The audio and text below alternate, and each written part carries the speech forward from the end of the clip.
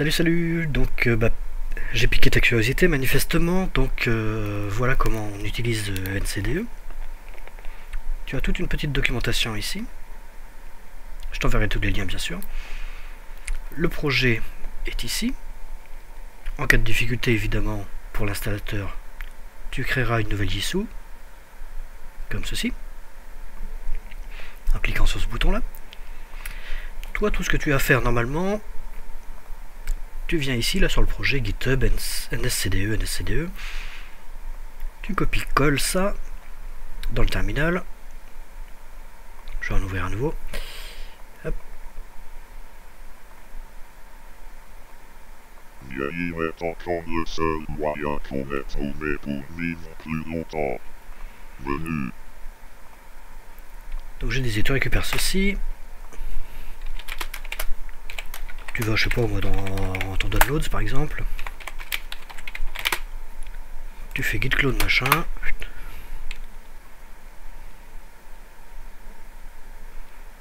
Ah, ça se copie très très vite, de toute façon c'est pas très très volumineux en termes de nombre de fichiers.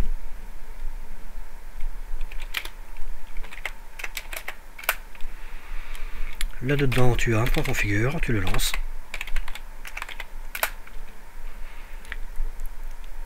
Ça, va te prendre quelques secondes en principe, puisque tu as 80% de chance de tout avoir. Si tu n'as pas tout, de toute façon, il va te l'afficher. Ce que tu pourrais éventuellement ne pas avoir, c'est tout ce qui concerne les librairies euh, XPM.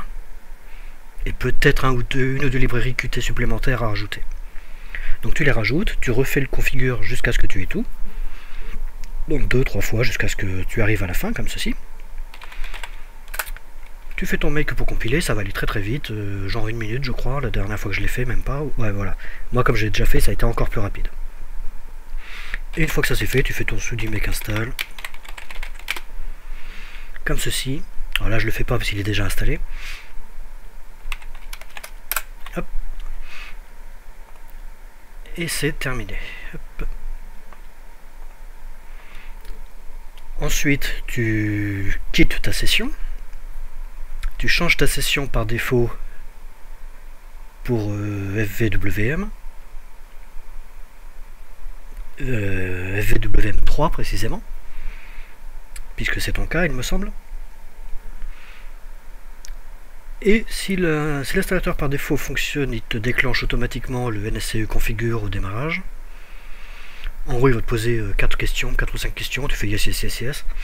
Tu prends tout par défaut, c'est juste pour valider les versions de Qt installées. Donc tu dis ok, ok, ok, ok à tout, et c'est terminé. Ensuite, pour personnaliser, puisque c'est ça qui t'intéresse le plus, je suppose, apprendre à t'en servir et à personnaliser, tu vas trouver une icône comme ceci là. Tu vois, il y a une souris, il y a des lettres, il y a une palette de couleurs, ça c'est la configuration.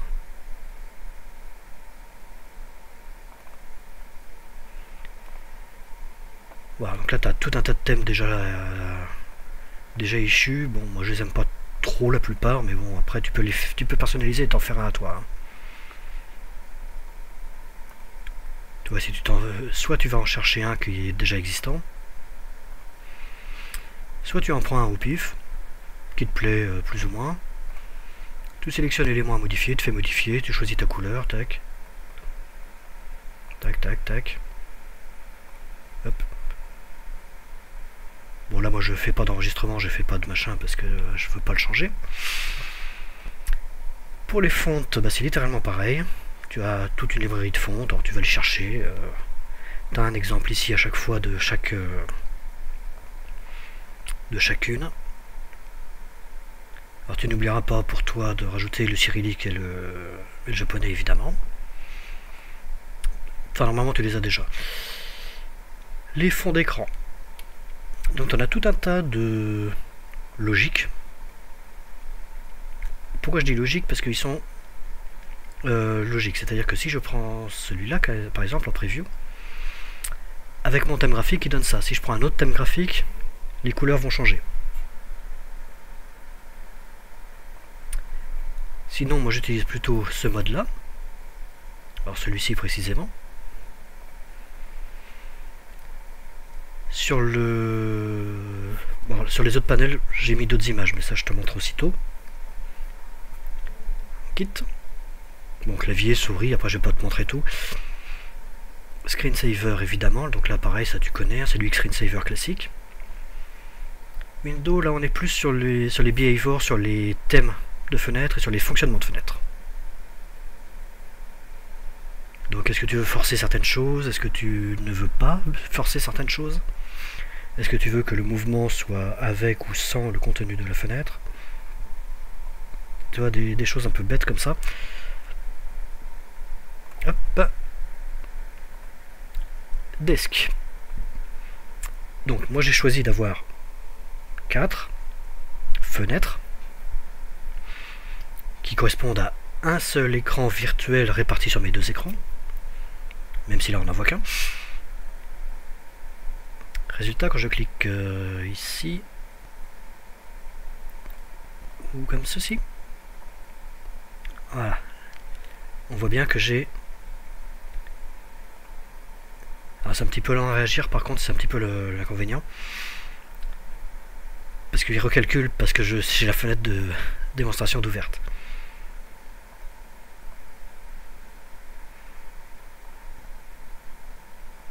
Voilà, donc là il me recalcule le truc. Voilà.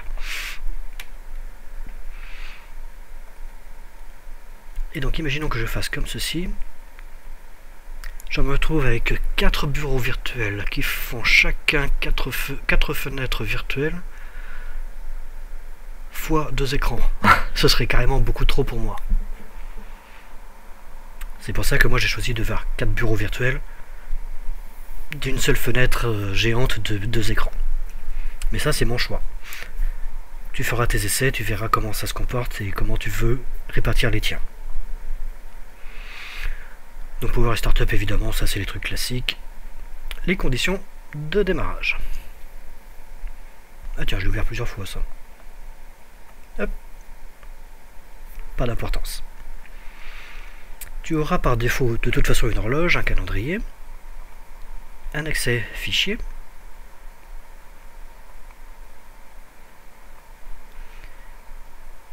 Euh, tes imprimantes PDF normalement qui sont là, tes mails qui seront que tu peux configurer ici. Ah, moi je les ai pas configurés mais bon tu peux. La configuration, donc l'icône de droite. L'icône qui ressemble à un tiroir avec une calculatrice, un crayon, là ça c'est ce qui te donne accès au menu application.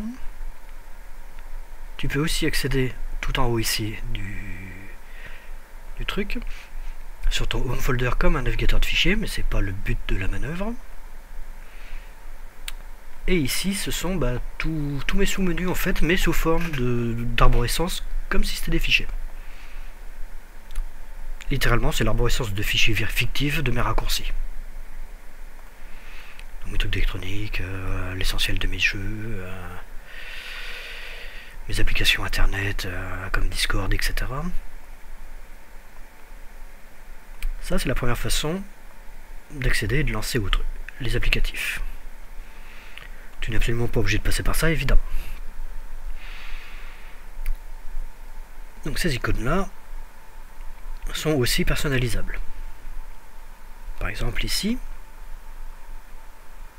je fais Change this button. C'est un bouton que j'ai déjà rajouté. Je vais pouvoir choisir de lancer quelque chose. Par exemple, euh, ça.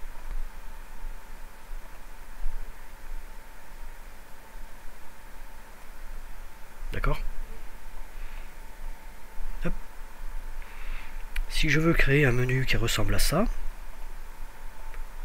au-dessus de cette icône, je clique droit sur le sur icône, le même icône, je fais Add Subpanel. Alors ça va clignoter un petit peu, hein, c'est normal, pas s'inquiéter, hop, voilà. Parce que ma machine est très très lente là sur la machine sur laquelle je fais l'exemple. Et si je fais un install button, il va m'afficher une interface. Et puis là-dedans, bah, je fais, euh, je sais pas, n'importe quoi. 3D hmm, chess par exemple. Ah bah il y a même une icône, ça tombe bien. Save. Hop, et voilà. Il va rajouter mon petit menu. Pourquoi c'est intéressant d'avoir des menus comme ceci? Parce que si tu regardes bien, Ah, miracle, ces menus-là ne se ferment pas. Donc si je veux lancer plein d'applications, faire un travail où j'ai besoin d'avoir plein de choses en même temps, je vais pouvoir ouvrir, fermer, ouvrir, fermer, ouvrir, fermer mes applicatifs, sans réouvrir le menu à chaque fois. Ce qui peut être, euh, quelquefois, dans certains... Dans certaines journées de travail, ça peut être super intéressant de faire comme ça. De la même manière, je peux faire un delete subpanel, ce qui va éliminer le subpanel sans, sans briser l'icône de base. Ce qui est quand même très très intéressant. Et pour ajouter une icône de base, je viens ici dans Font Panel Controls, à gauche, et là j'ai plein de choses. Et en particulier Number of Launchers. Je peux en rajouter sur la moitié gauche, sur la moitié droite. Donc ça, je peux aussi en virer sur la droite ou en virer sur la gauche.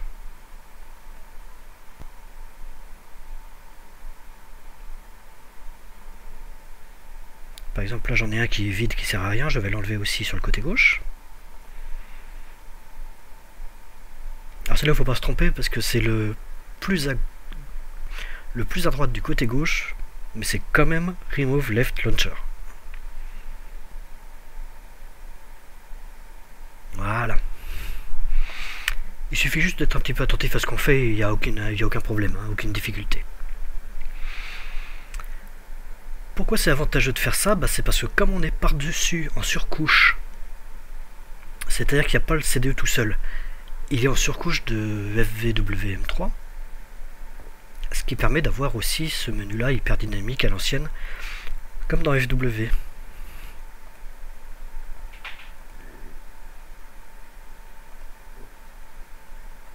Ah oui, tu m'as aussi demandé combien j'avais de jeux, bah tu vois, euh, j'en ai pas tant que ça, mais j'en ai quand même. Il y a quand même trois pages.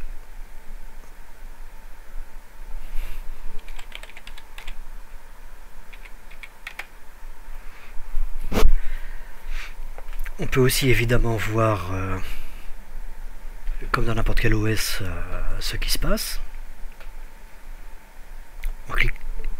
On, peut l'obtenir en cliquant juste ici, là, sur la petite barre. Alors au début c'est vert, après c'est bleu je crois par défaut, et ensuite orange et rouge, en fonction de la charge bien entendu. Le exit ici permet d'avoir tous les modes d'exit possibles. Donc euh, juste logout, redémarrer que le window manager, redémarrer en failsafe euh, avec juste un Xterm d'ouvert, faire un arrêt physique de la machine, faire un reboot physique de la machine, faire un sleep sur la machine, faire un, hybride hibernate. Alors ça c'est c'est un petit peu comme la veille profonde de, de macOS ou de Windows. Et l'hibernate qui, qui est encore plus une veille profonde, encore plus sécuritaire que celle de Windows et des, et des macOS. Donc là je le fais pas. Ce petit icône là présente les quatre... Euh, alors moi j'en ai quatre. Je vais te montrer comment on fait pour en avoir moins et plus. Euh, non je te l'ai montré tout à l'heure. Permet de voir euh, et de chercher tes fenêtres. Typiquement je vois que là j'ai des fenêtres sur la deuxième qui n'ont pas encore été fermées. Le petit lock évidemment c'est le déclencheur du screensaver manuel. Donc si je veux loquer mon écran. Et je crois que je t'ai à peu près tout montré, sauf que tu peux réduire ce menu. Ce, qui, est contraire à, à beaucoup d'OS, mais ça permet de docker ce menu là lui-même. Et je crois que je t'ai tout montré, puisque le reste après c'est du Linux classique, tu connais. Alors, euh, ciao, et puis n'hésite pas à m'envoyer un mail si tu as des soucis, ou à me téléphoner si tu veux.